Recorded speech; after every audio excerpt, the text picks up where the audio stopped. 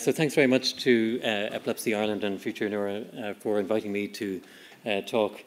And uh, we've already heard a, a fantastic talk from uh, Thomas, who's taught us a lot about uh, cannabis, and we've heard Yvonne's incredible story as well. So, so I'm going to talk about medicinal cannabis for epilepsy, the impact, evidence, and future research needs. And I'm going to look at a couple of concepts around medical cannabis that are important for uh, producing effective and safe uh, medicinal cannabis products uh, for epilepsy, and uh, to look at the evidence. Uh, as a disclosure, as Peter said, I was a member of the Medicinal Cannabis Access Programme Reference Group as a representative of the Royal College of Physicians. So I'd like to start with looking at two terms that we should know about and we should know what they mean. And, uh, uh, you know, do they mean the same thing or are they different? Uh, cannabis and marijuana. So um, cannabis is the, is the Latin name of the, of the cannabis plant that uh, we don't have time to go into further, but Thomas uh, has referred to. And then marijuana is um, a term that's used more in the United States and was actually introduced by a guy called Harry Anslinger over there on the right, who is the commissioner of the Federal Bureau of Narcotics in the 1930s in the US, and they were clamping down on illegal drugs at the time, and um, they're producing cartoons like this on the right from the 1930s.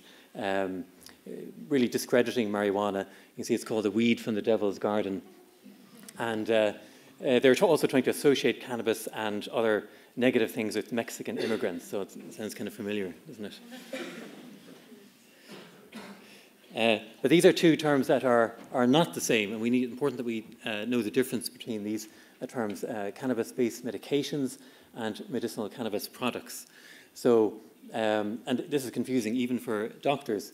So cannabis-based medications are basically pharmaceutical grade products um, that are um, studied in clinical trials, and they're typically FDA or EMA, European Medical Agency approved, and these are products like Epidiolex or uh, Sativex or Marinol. And then there are medicinal cannabis products, which are mainly um, classed as dietary products. They're um, less regulated, certainly, and kind of of variable quality, unless they are what's called GMP certified, and that's something I will uh, refer to in a moment. And as an example of that, and this data on the right here is from a study which looked at cannabis oil samples from Dutch patients, patients who'd brought their cannabis oil in and they looked at what was on the label and then they analysed what was actually in the oil. And I'm not going to go through each one, but you can see even the first one there, uh, it was 27% CBD on the label. When they tested it, it was actually 2.3%. And the THC content was 17%. When they tested it, it was 0.1%. So so these are relatively unregulated products, and we just don't know what we're getting in the oil um, uh, with these sort of dietary class products. But uh, does that make a difference? I mean, it's all cannabis, right? It's, it's uh, a natural product, it's safe.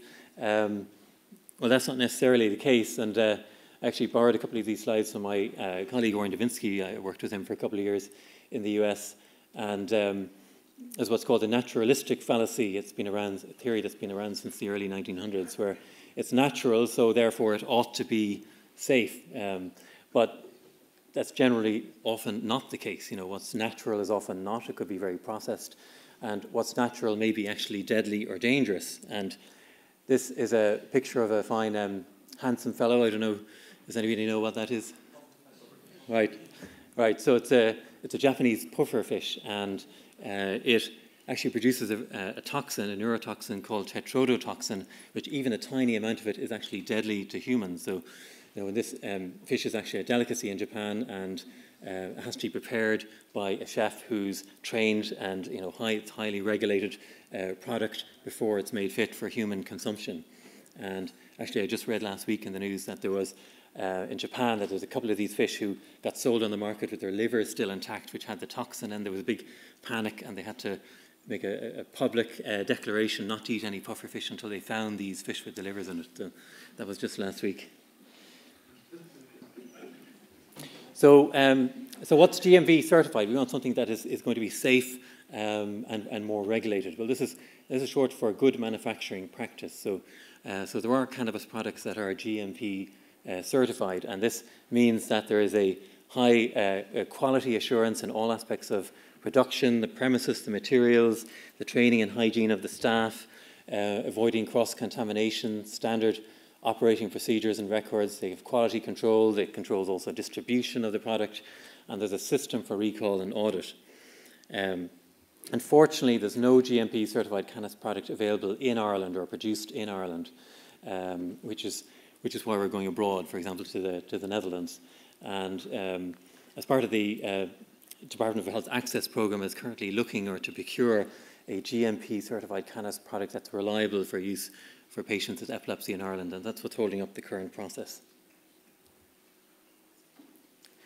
Another concept uh, about medicinal cannabis and epilepsy is, is called the entourage effect. And you know, there, is, there is a theory that CBD and THC, uh, while they both may be effective for epilepsy, um, that they act synergistically or that cannabis products have to be used together, that they're not effective on their own.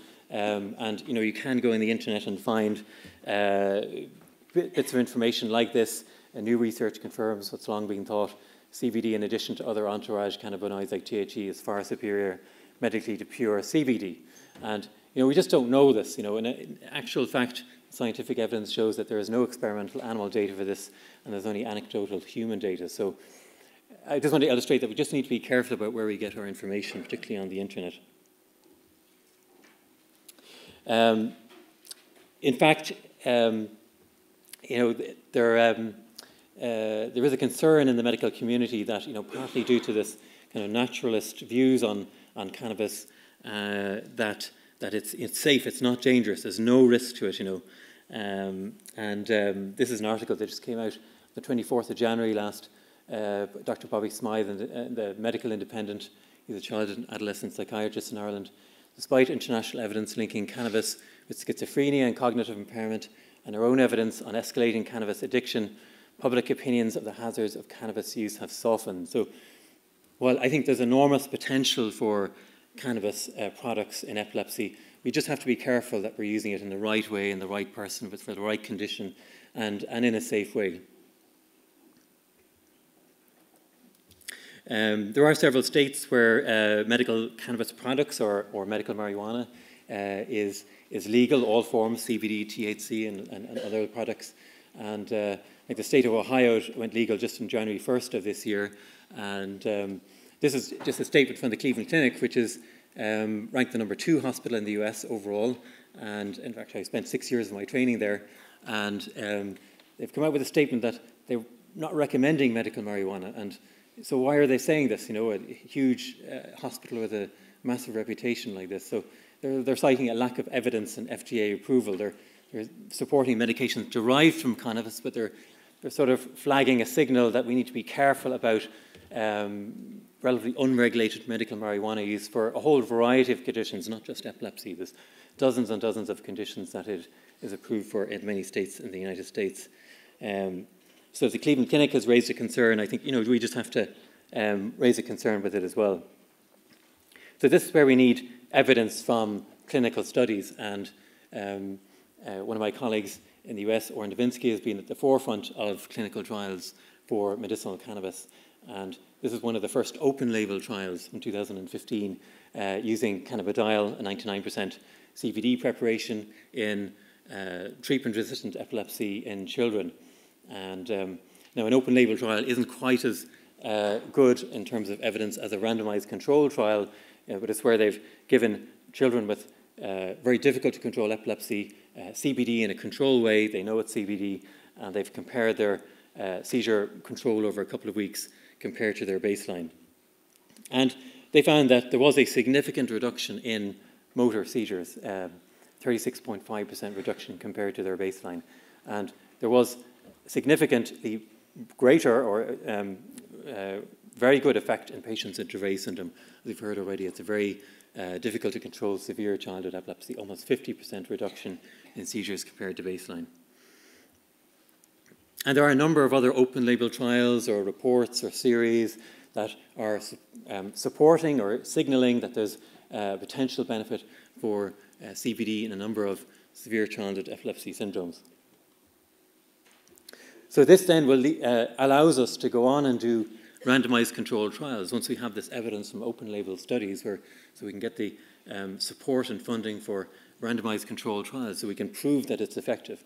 And, um, um, these are what's called blinded studies. So they're, they're, we try to remove any bias, either for or against a potential effect of CBD in this case uh, for childhood epilepsy. Um, so the clinicians don't know what the patients are getting, and the patients don't know what they're getting. It's blinded for a couple of weeks, and then at the end of the study, it's unblinded, and they look back and see, well, what, what was the effect of the drug? And then it also allows us to be able to tell, well, what are the adverse events and, and uh, things we should be concerned about in terms of risks. And um, so Orrin had published uh, this trial, uh, randomized controlled trial of CBD in Dravet syndrome in the, the New England Journal of Medicine in 2017. That's the generally regarded as the, the top medical journal in the world. Um, so only the most rigorous and relevant uh, studies get published. And um, was a, a, study of CBD added to the patient's own medications versus placebo, and there was a significant reduction uh, of almost 40% in the seizures over the course of the trial, uh, compared to a placebo reduction of about 12%. Um, there was some um, uh, serious adverse events that we look at later. Um, there's also been a couple of randomized controlled trials in Lennox-Gastaut syndrome, uh, a couple of hundred patients uh, published last year with a, a significant reduction in uh, drop seizures, as you can see there in both trials. So now we have clinical evidence from clinical trials that CBD is effective in Dravet syndrome and uh, Lennox-Gastaut syndrome. And of course, we all want seizure freedom. And um, you know, one important aspect is to look at well, what's, did any patients actually become seizure free?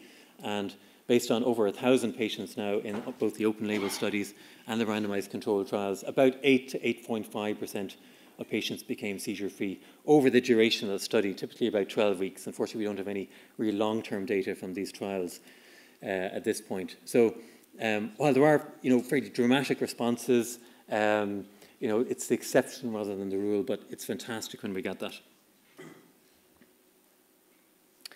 Uh, like I said, these trials allow us to look in an unbiased way at potential for adverse events.